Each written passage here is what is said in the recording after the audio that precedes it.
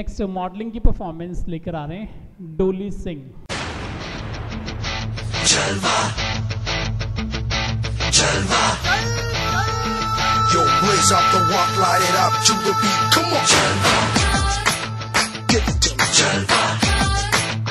Give it to me, जलवा Gorgeous with attitude in every latitude.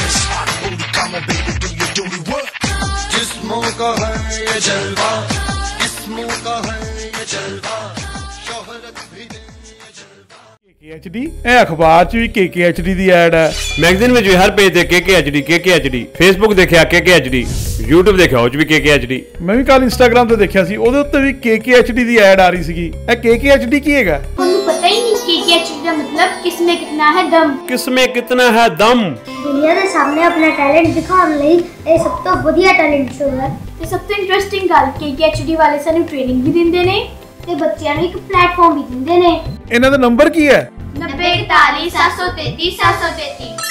9143733 733